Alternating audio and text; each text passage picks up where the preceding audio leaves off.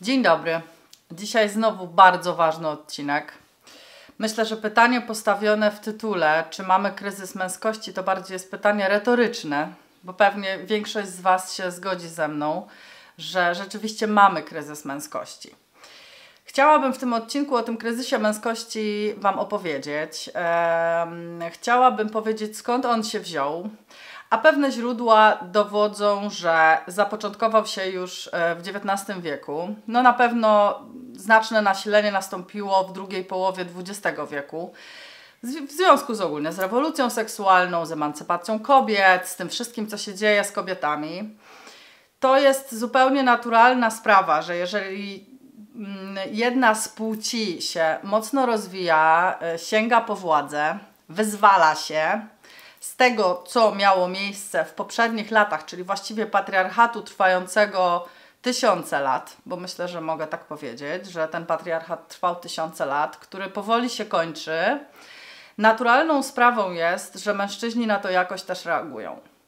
Nasze energie, męska, kobieca, powinny żyć w harmonii, w symbiozie, powinny się wzajemnie uzupełniać i mm, wspierać się wzajemnie.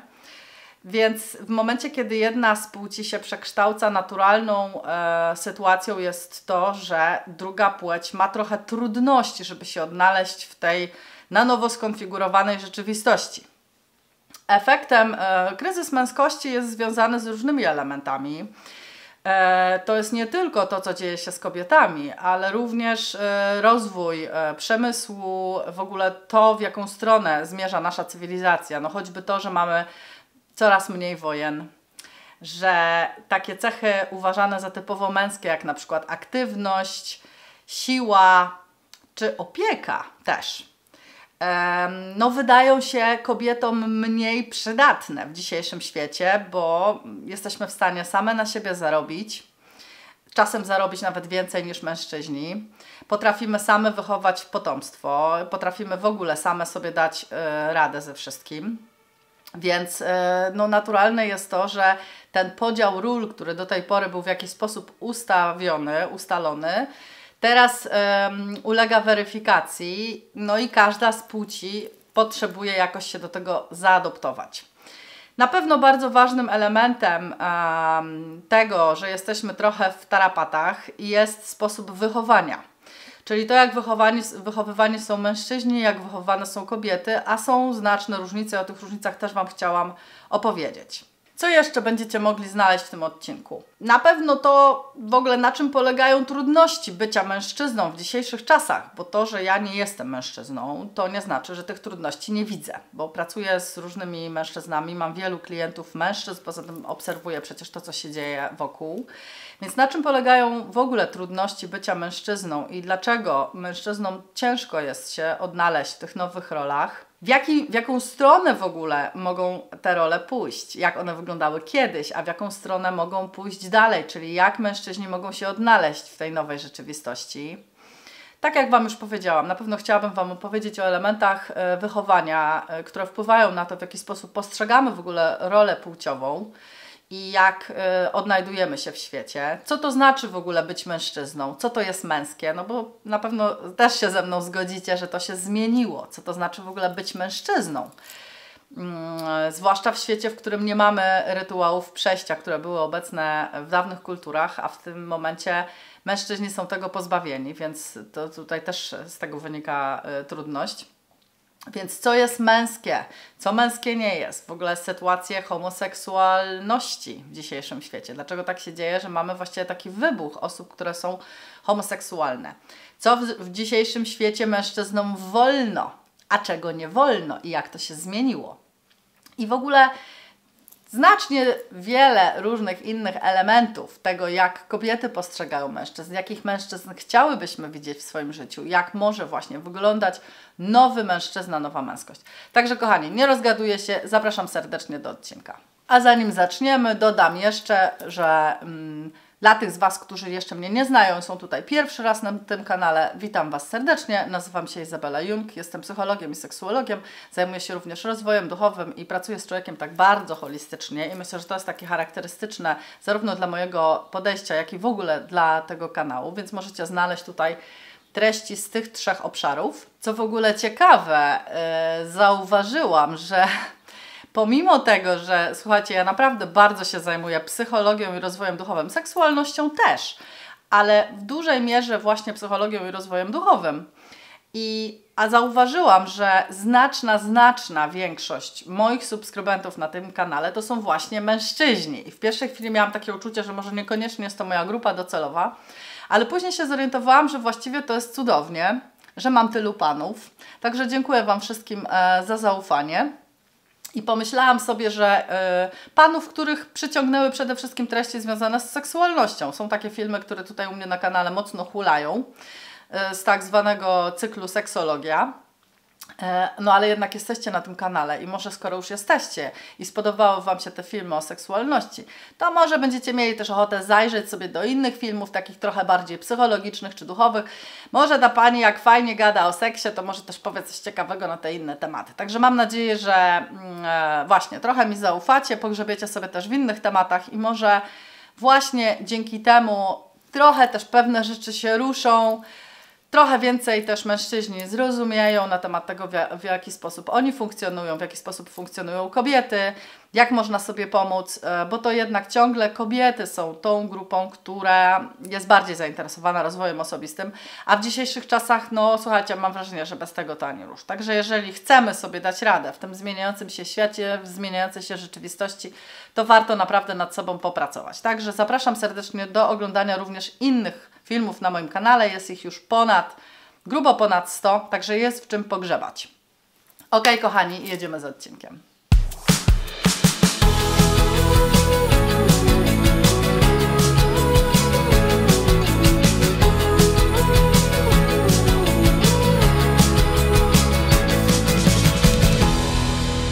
Słuchajcie, to jest bardzo dużo różnych treści na ten temat, yy, więc żeby powiedzieć możliwie jak najbardziej konkretnie się nie rozwlekać. Yy, wiem, że część z Was lubi moje dygresje, ale są też takie głosy, że chcielibyście, żeby było bardziej konkretnie, więc staram się stawać na wysokości zadania i dopieścić i jednych i drugich dogodzić jednym i drugim, a wiecie, że jest to trudne, to chciałabym trochę nakreślić taki rys historyczny, ale naprawdę bardzo króciutko. Jak sobie popatrzycie na historię ludzkości, przynajmniej tą taką dostępną w szkołach, ja z nią jakoś specjalnie nie będę dyskutować. Akurat w tym odcinku są inne odcinki, w których e, bardziej dyskutowałam z historią ludzkości i tego, czym jesteśmy mm, karmieni w szkole, a jak to prawdopodobnie naprawdę wszystko było. W każdym razie, jeżeli chodzi o tą taką powszechnie dostępną historię, no to powiedzmy w tych latach e, takich wcześniejszych, jak e, ludzkość zajmowała się jeszcze, prowadziła taki tryb życia nomadyczny, zajmowała się łowiectwem, zbieractwem, przemieszczała się z miejsca w miejsce, to wtedy mm, no wyobrażano, wyobrażamy sobie dzisiaj, że ten podział e, ról męskich i kobiecych był taki bardziej zbliżony do tego, co jest w naturze. Czyli faceci odpowiadali za to, żeby przynosić zwierzynę do domu, chronić e, te, te do domu, do jaskini, gdzie były jakieś tam sobie grupy, e, bronić, bronić przed dzikimi zwierzętami i powiedzmy jakimiś tam innymi najeźdźcami. No a kobiety zajmowały się pewnie jakoś tam ogarnianiem tego domostwa, rodzeniem dzieci, wychowywaniem dzieci i tak dalej. W każdym razie tutaj jakby nie było takiego podziału, kto jest lepszy, kto jest gorszy. Natomiast co jest ciekawe, to e, boskość jako taką, jakieś takie mm, wyjątkowość danej płci, jeśli można tak powiedzieć, przypisywano raczej kobietom. I te pierwsze figurki takie kultur, kultur, e, kultów religijnych, no to to, są, to to są figurki kobiece. To jest jakaś powiedzmy matka płodna, z dużymi piersiami, z biodrami i tak dalej. Więc jakby no wiadomo było, że kobieta wydawała się takim e, ludziom pierwotnym dużo bardziej boskim stworzeniem z racji tego, że przede wszystkim e, przynosiła na świat potomstwo. Zanim się zorientowano, że faceci też mają jakiś swój udział w tym e, procederze, to myślę, że zajęło to ludzkości e, trochę czasu, chwilę. W każdym razie samo to, że była w stanie przynieść na świat nowe dzieci, no, no, nowych potomków, rodziła, karmiła, krwawiła regularnie, nie wiadomo było dlaczego, a nic jej nie było. Mężczyzna jak krwawił, tak, mężczyzna nie mógł rodzić dzieci, mężczyzna nie mógł karmić e, no, potomstwa. z własnego ciała. E, wiecie, no, dla nas to jest taka normalna kompetencja, bo widzimy to właściwie na co dzień, ale to jest naprawdę wyjątkowe. Bo na przykład jak ma się dziecko, które powiedzmy ma pół roku, no to człowiek się orientuje, że 100% tego takiego, no już takiego sporego klocka, ja mam dwójkę dzieci, więc wiem, powiedzmy 8-kilogramowego niemowlęcia, które ma pół roku, to to jest 100% zrobione z ciała kobiety, jeżeli dziecko rośnie wyłącznie na mleku. No na przykład w moim przypadku tak właśnie było, że moje dziecko pierwsze, przez 6 pierwszych miesięcy mm, nawet nie zaznało kropli wody, tylko cały czas było na tak zwanym mm, cycu. Więc no mężczyzna nie jest w stanie tego zrobić, więc to jest totalna magia. Kobiety krwawiły i nic im nie było. Mężczyźni krwawili i wtedy, kiedy no zdecydowanie coś, coś się stało złego i od tego czasami też umierali, prawda, często. Kolejna rzecz, y, jeżeli chodzi w ogóle o seksualność, to mężczyzna E, znaczy raz, że w ogóle kobiety wzbudzały emocje w mężczyznach, być może większe niż mężczyźni w kobietach. Z różnych powodów. E, mm, kobieta była gotowa do aktu seksualnego cały czas, mężczyzna nie. Mężczyzna potrzebował trochę czasu, żeby znowu stanąć na wysokości zadania. Więc jakby różne te elementy powodowały, że kobieta się wydawała istotą magiczną i na początku czczono w ogóle figurki kobiece. To się zmieniło wtedy, kiedy ludzkość zaczęła się mm, osadzać, kiedy powstały pierwsze osady, czyli z tego trybu no, nomadycznego przeszła do, do trybu osadniczego.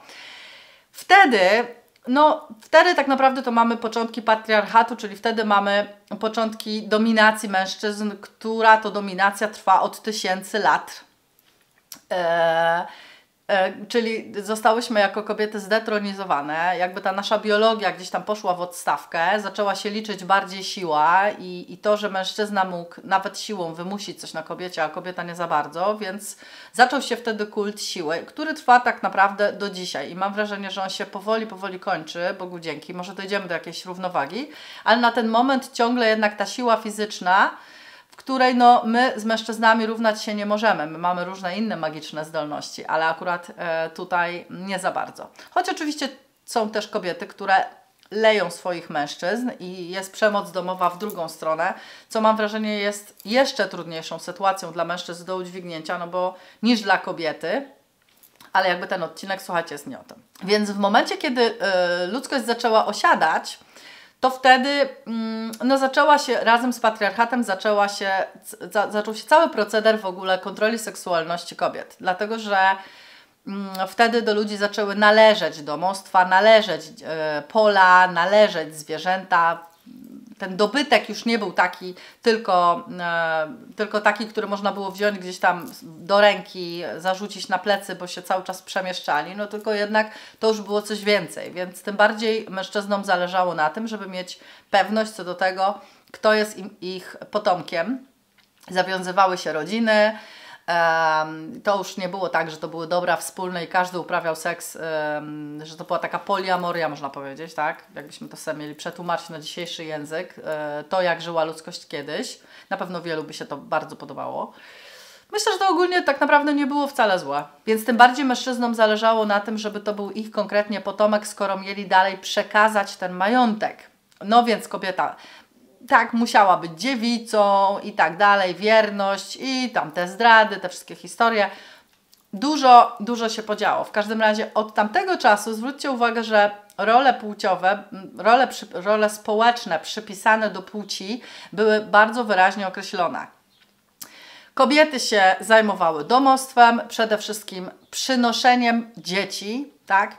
dowożeniem dzieci, zajmowaniem się tymi dziećmi, wychowaniem dzieci i ogarnianiem tego wszystkiego, co było w domu.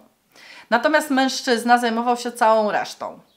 Jeździł na wojny, bronił, przynosił pożywienie. Kobiety właściwie w ogóle tego nie robiły. Kobiety były coraz bardziej osadzone w swojej słabości, ponieważ nasze role społeczne były mm, bardzo takie spolaryzowane, doprowadzone właściwie do dwóch ekstremów, no to można powiedzieć, że na tym całym patriarchacie, ja zresztą też nagrałam odcinek na ten temat, e, jak dam radę to Wam wrzucę linka, to sobie możecie zobaczyć, że w całym patriarchacie właściwie obydwie płcie cierpią. I kobiety na czym cierpią, i mężczyźni na tym cierpią, dlatego że człowiek nie jest taką istotą, która ma jakoś silnie spolaryzowane cechy związane z płcią, czy związane z energią męską i z energią żeńską, tylko my de facto jesteśmy pewną kombinacją tych energii.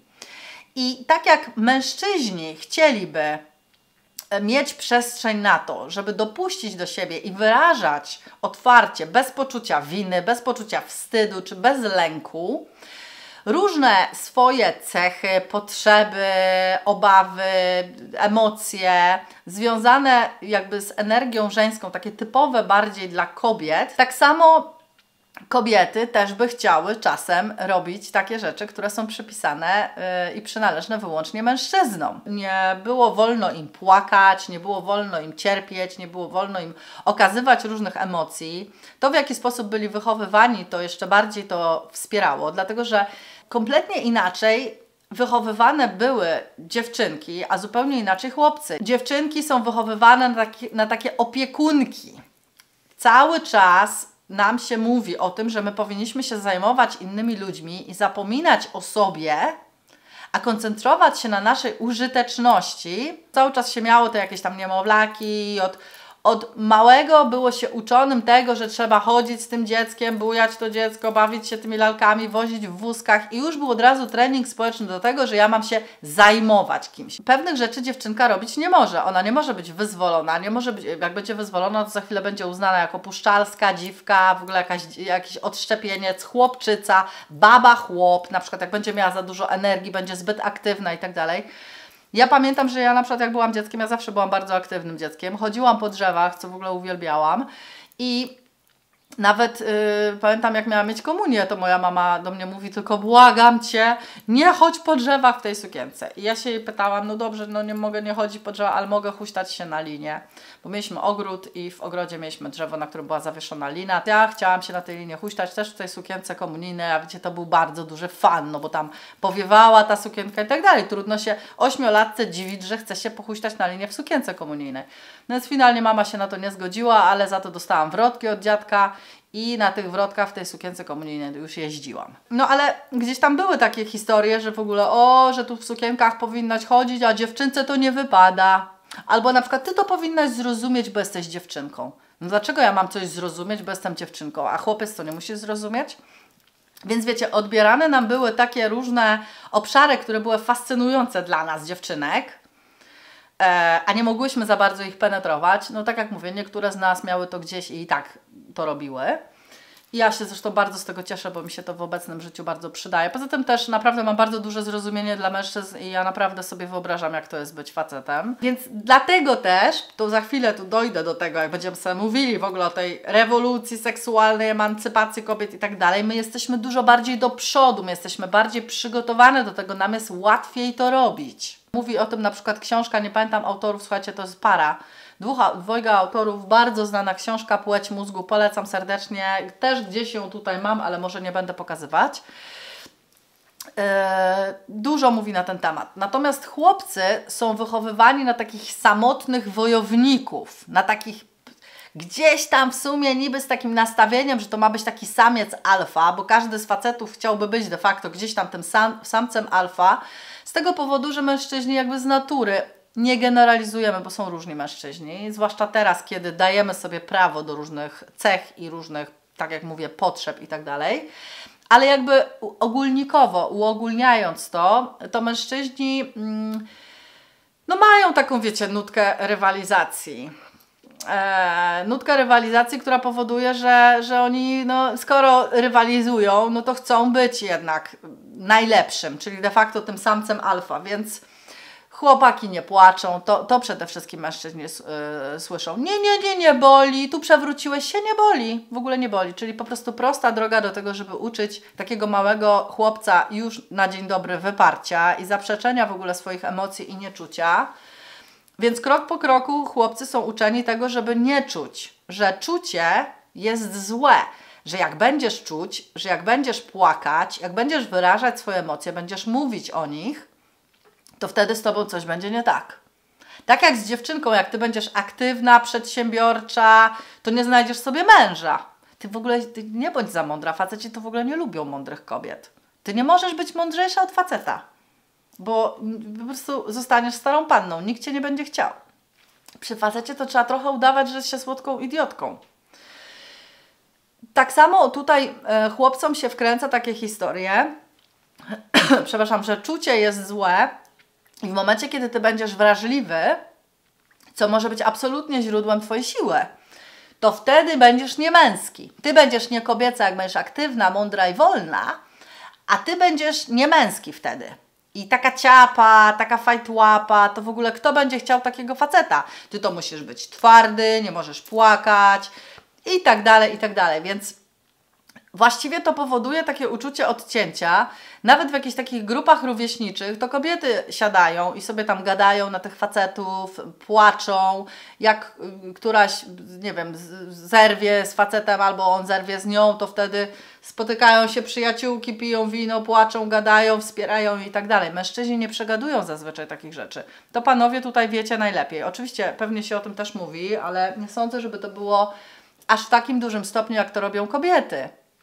A jednak jest to taka, wiecie, no taka terapia tak naprawdę i to nam pozwala też stanąć na nogi, więc tak jak mówię, Wy społecznie nie jesteście też przygotowani do tego, z pokolenia na pokolenie nie jesteście przygotowani do tego, żeby sobie radzić z tym zmieniającym się światem. Więc nie tylko, że jest to trudne dla współczesnych mężczyzn, żeby w ogóle się zaadoptować do nowej sytuacji. Dla każdego zmiany są wyzwaniem, prawda? Są gdzieś tam poza strefą naszego komfortu. Y, no, jest tam też rozwój. Im większe ryzyko, im większy, większe wyzwanie, tym większy potencjalnie rozwój, tym większy potencjał. Więc tutaj możecie skoczyć do przodu bardzo szybko. Ale jakby nie wspiera Was społeczeństwo, nie wspierają Was, y, nie, nie wspiera Was sposób, w jaki jesteście wychowani i nie wspiera Was to, że nie są wspierane Wasze kompetencje radzenia sobie w takich sytuacjach. Z tego powodu, również z tego powodu jest to trudne. Słuchajcie, kolejnym elementem, który powoduje, że trudno jest być dzisiejszym mężczyzną, są, jest brak rytuałów przejścia. Nie ma czegoś takiego, że w pewnym momencie chłopiec przestaje być chłopcem, a zaczyna być mężczyzną. Nie ma w ogóle takiego rytuału. Kiedyś to było bardzo ważne, żeby takie rytuały były i one były bardzo celebrowane. No nie wiem, w kulturze żydowskiej ciągle występuje coś takiego jak bar mitzwa. W naszej kulturze nie ma w ogóle rytuału przejścia. Dla mężczyzn, dla kobiet jest. Nigdy nie, znaczy były pewnie jakieś tam rytuały przejścia dla kobiet, ale kobieta staje się kobietą czy dziewczynka przestaje być, dziewczynka staje się kobietą w sposób absolutnie naturalny i jest to najbardziej naturalny rytuał przejścia ze wszystkich istniejących. Tak, po prostu dostajemy miesiączkę. My mamy rytuał przejścia. I, I też powiem Wam, że jak pracuję z kobietami, to w jaki sposób e, w ogóle doszło do, do, do, tej miesiączki, jak rodzice do tego podeszli, jakie było w ogóle nastawienie, na przykład poprzez e, w jaki sposób matka nastawiała swoją córkę do, do miesiączki, też ma wpływ potem na to, jaką kobieta ma relację ze swoją miesiączką. O, jakby taki młody mężczyzna to on nie wie, czy on jest mężczyzną, czy on nie jest. On nie wie, po czym on ma poznać. On nie wie, po czym on ma to poznać. Nie ma takich rytuałów to jest też bardzo ważny powód, dlaczego trudno jest być mężczyzną. Bo potem dochodzi do takich sytuacji, że jakby stawiane mu są jakieś takie dziwne wymagania, które jest coraz trudniej osiągnąć, to, coraz trudniej je spełnić, pod tytułem, że ma właśnie wybudować dom, spłodzić syna, posadzić drzewo i tak dalej. Czyli de facto gdzieś tam go się odsyła do tego, w jaki sposób kiedyś była interpretowana męska rola, a co jeśli ten mężczyzna jest na przykład bezpłodny, albo ma same córki, albo w ogóle nie chce mieć dzieci, nie musi budować domu, bo może to zlecić komuś. No rzadko kto buduje sam sobie dom, chociaż są i tacy. I w ogóle nie jest zainteresowany ogrodnictwem, sadownictwem i nie zamierza w ogóle posadzić żadnego drzewa. To po, po czym on ma poznać, że jest mężczyzną?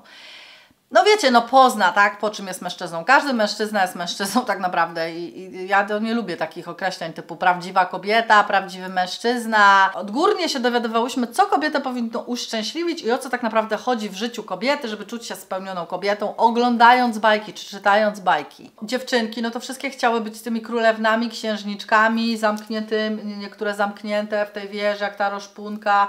I ona w takiej bierności jest. Ta kobieta jest taka bierna strasznie w tych bajkach. Ona, ona czeka w tym zamku, on dopiero tam ją ratuje z tej wieży, albo ona śpi on dopiero Pocałunek księcia może ją dopiero przebudzić, ona sama to się nie przebudzi. Książę na białym koniu przyjeżdżał i tam ten ślub mieli taki piękny i każda tak marzyła, żeby jak ta królewna, żeby on ją traktował oczywiście jak królewnę i żeby ona jak ta królewna szła do tego ślubu, bo jak ona nie pójdzie do tego ślubu, to nie, po prostu jej życie nie będzie miało sensu i będzie się zawsze czuła wybrakowana i nie taka i coś z nią jest nie tak, bo stara panna, nikt jej nie chciał i tak dalej. Tak samo z drugiej strony chłopcy, no to oni mieli być w tej aktywności, to oni mieli kobietę zdobywać, to on miał ją poprosić o rękę, to, to wszystko miał zrobić on, on miał ją uratować, a ona miała być w tej bierności.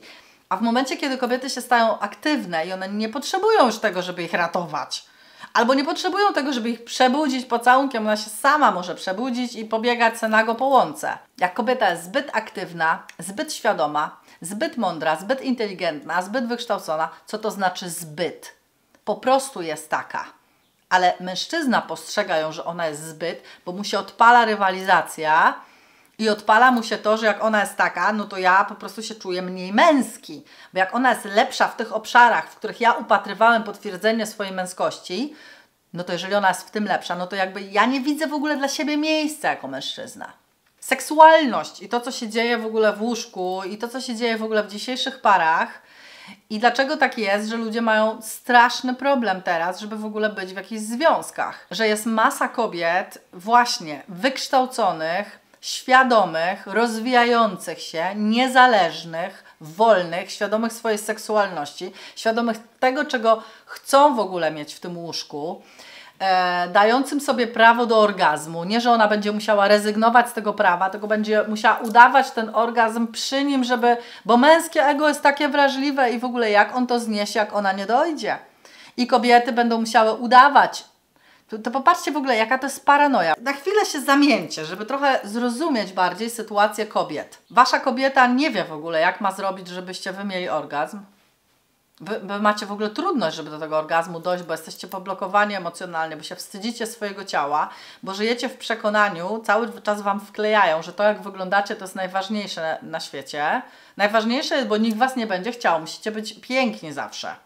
A mężczyźni po prostu się wszyscy stroją i mają być jak najpiękniejsi i e, pachnący, malowane paznokcie, rzęsy, tu wszystko.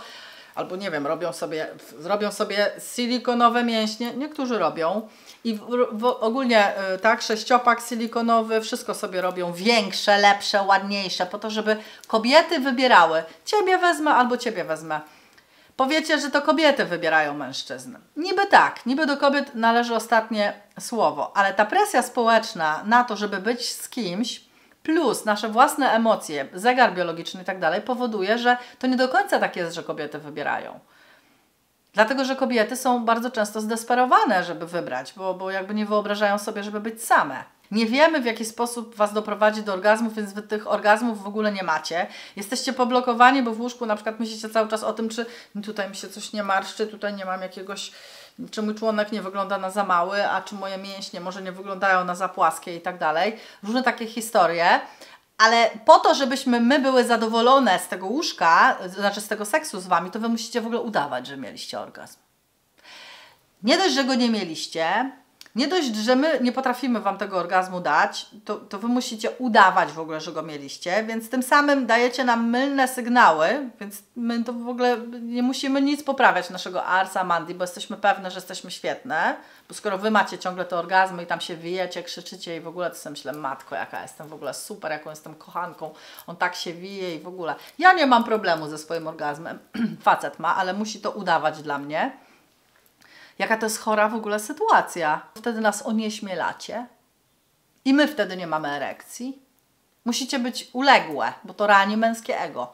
Wszystko się kręci wokół tego męskiego ego. Więc nie możecie być zbyt, nie możecie mieć za dużo partnerów, nie możecie być za bardzo wyzwoleni w tym łóżku, ani nie możecie chcieć za bardzo, ani nie możecie chcieć za mało. Musicie tak się wkleić dokładnie w tą część, żeby tak idealnie do tego partnera się dostosować. No musicie być dostępni wtedy, bo to jest obowiązek małżeński, więc musicie być dostępni dla nas wtedy, kiedy my chcemy.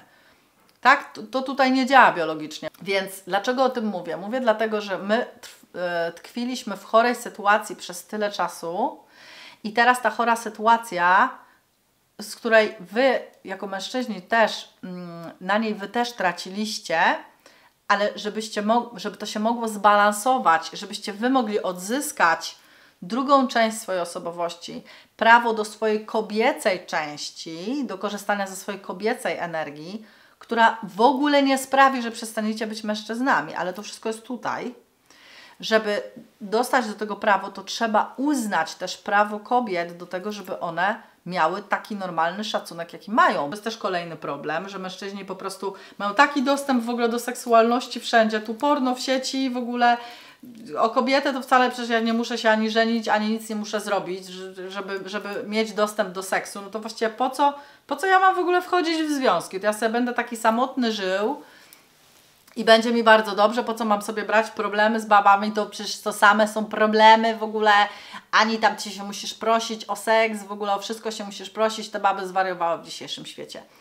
To jest, słuchajcie, ślizganie się po powierzchni. E, warto zajrzeć pod spód. Takie zamykanie się w domach, siedzenie w internecie, e, masturbowanie się przy pornografii, granie sobie w gierki i raz na jakiś czas wyskoczenie na jakąś randkę, żeby nie zdziczeć do reszty. No ja myślę, że to nie jest fajny pomysł na życie. Ja myślę, że dużo fajniejszym pomysłem na życie jest jednak to, żeby troszeczkę y, się zatrzymać, może, może jakieś inne treści do siebie do, dopuścić.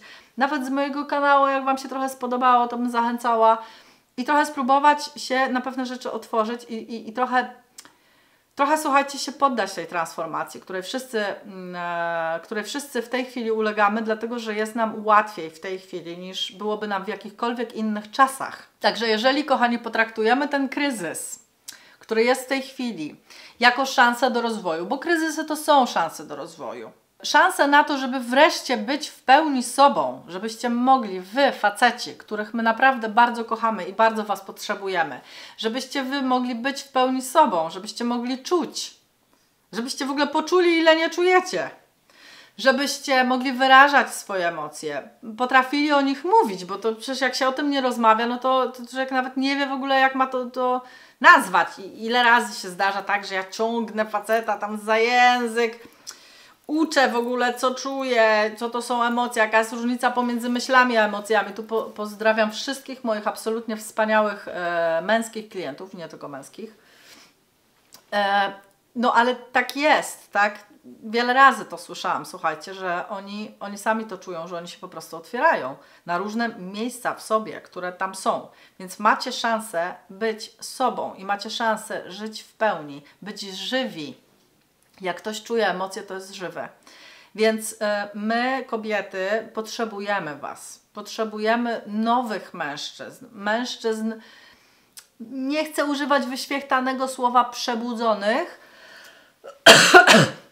ale na pewno mężczyzn bardziej świadomych, bardziej otwartych, bardziej gotowych do tego, żeby zintegrować różne swoje kawałki, które w tej chwili są w cieniu, do których sobie w tej chwili nie dajecie prawa, bo jesteście przede wszystkim istotami ludzkimi i macie prawo czuć, potrzebować, bać się i tak dalej. I to jest normalna sprawa, że jeszcze przez nie wiem ile lat Będą się obydwie płcie mocno ścierać. Tutaj łapki zostawiajcie w górze i subskrybujcie mój kanał, ale również polecajcie te treści dalej. Niech się przyda innym ludziom, skoro Wam się przydało. I teraz słuchajcie, właściwie już tradycyjnie, żeby ten odcinek nie był za długi, jeżeli jesteście zainteresowani obejrzeniem go w pełnej wersji, to zapraszam Was do siebie na stronę. Tutaj w opisie wrzucam Wam link do pełnego odcinka.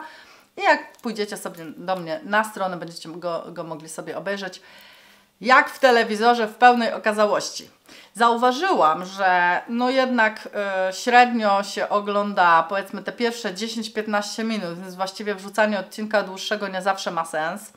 Więc dlatego stwierdziłam, że jednak to podzielę i jeżeli ktoś jest zainteresowany takimi treściami naprawdę i chce głębiej pogrzebać, to wtedy może to znaleźć u mnie na stronie. Więc jakby wszelkie szczegóły tam u mnie na stronie będziecie mogli zobaczyć. A ja na razie dziękuję i jeżeli Wam się podobało, to oczywiście nie zapomnijcie zostawić łapki w górze i subskrybować mój kanał, jeżeli do tej pory tego nie robicie.